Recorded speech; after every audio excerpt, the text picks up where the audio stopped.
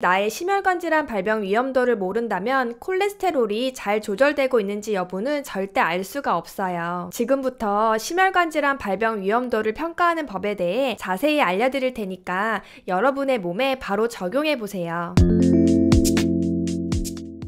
지난 영상에서 콜레스테롤이 높으면 땡땡 식품을 먹으라는 말이 왜 엉터리인지 그 이유를 알려드렸어요. 이 표를 보시면 LDL 콜레스테롤 수치에 따라 그 의미가 이렇게 표현되어 있는데 사실 아무런 의미가 없는 표이기도 합니다. 왜냐하면 이 표는 평균적인 사람들에 대한 수치를 나타낸 것 뿐이고요. 사실은 사람마다 다르게 모두 개별적으로 평가돼야 하기 때문이죠. 만약에 LDL 콜레스테롤이 130이라면 그 사람의 상태에 따라 누군가에게 누 군가에게는 정상 범위일 수도 있고 누군가에게는 위험 수준의 수치일 수가 있는 것입니다. 그렇다면 무엇을 근거로 누군가에게는 정상이다, 누군가에게는 위험한 수준이다 라고 말할 수 있을까요? 바로 심혈관 질환 발병 위험도입니다. 지난 영상에서 LDL 콜레스테롤이 상승할수록 심혈관 질환 발병이 상승한다고 안내드렸죠.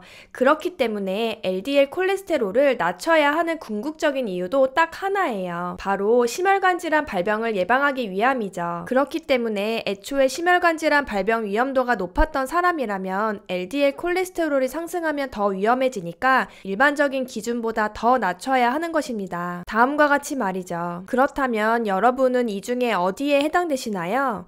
알고 계신가요? 생각이 많아지시죠? 보셨다시피 나의 심혈관 질환 발병 위험도를 모른다면 콜레스테롤이 잘 조절되고 있는지 여부는 절대 알 수가 없어요. 지금부터 심혈관 질환 발병 위험도를 평가하는 법에 대해 자세히 알려드릴 테니까 여러분의 몸에 바로 적용해 보세요. 이것은 심혈관 질환 발병을 상승시키는 위험 인자들이에요. 여기서 여러분에게 해당되는 사항들이 있는지 체크해 보세요. 만일 여기서 해당되는 위험 인자 개수가 한 개 이하라 이하라면 저위험군에 해당되고 두 개 이상이면 중등도 위험군에 해당됩니다. 저위험군이라면 LDL 콜레스테롤을 160 이하로 중등도 위험군은 130 이하로 유지해야 하죠. 여기서 중요 포인트는 HDL 콜레스테롤이 60 이상으로 높다면 해당되는 위험인자 개수의 총 합에서 하나를 뺄 수 있다는 거예요. HDL은 심혈관 질환 보호 효과가 있기 때문이죠. 만일 위험인자가 두 개가 있어서 중등도 위험군에 해당되는데 HDL이 높다면 총 위험 위험인자 개수 두 개에서 하나를 뺄 수 있는 것이죠. 그러면 총한 개가 되니까 저위험군으로 내려가게 됩니다. LDL, HDL 콜레스테롤이 무엇인지에 대해서는 지난 17번 영상에서 자세히 설명드렸으니 참고하시면 되겠습니다. 다음은 고위험군인데요. 경동맥이나 대동맥 또는 팔다리 혈관에 협착이 생겼거나 뇌졸중이 생겼을 때 심혈관 질환 발병 고위험군이 돼요. 고위험군은 LDL을 70 이하로 낮춰야 하죠. 그리고 이미 심혈관 질환 질환이 생긴 상태라면 최고위험군에 해당됩니다. 이미 심혈관 질환이 생기신 분들은 재발할 확률이 매우 높기 때문이에요. 최고위험군은 LDL 콜레스테롤을 55 이하까지 낮춰야 하죠. 지금까지의 내용을 정리하면 다음과 같습니다.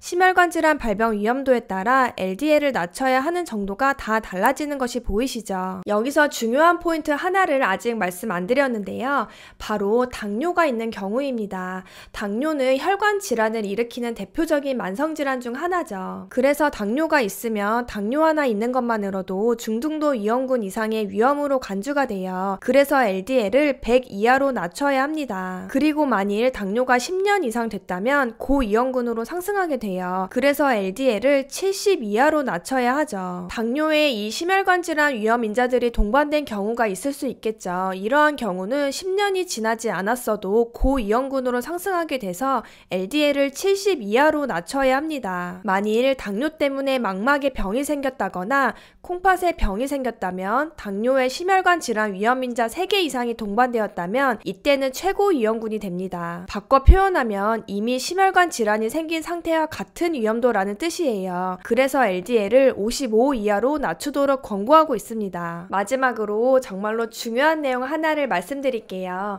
보셨다시피 심혈관 질환 위험인자 개수에 따라 위험도가 나뉘었 죠. 있었잖아요. 다시 한번 봐볼게요. 여러분, 여러분에게 고혈압이 없으신 게 정말로 맞나요?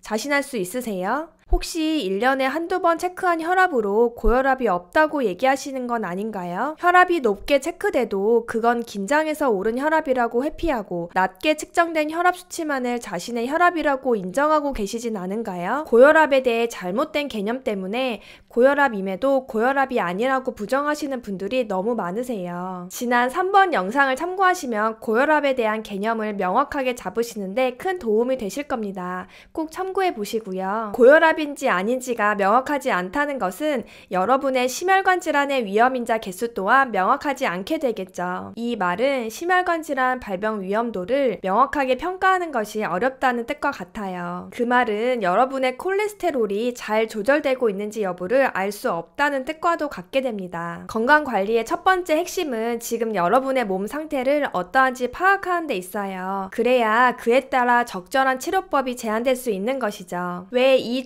주장이 엉터리인지 아시겠죠? 이 주장에는 여러분의 상태를 정확히 파악하려는 과정이 생략되어 있기 때문입니다.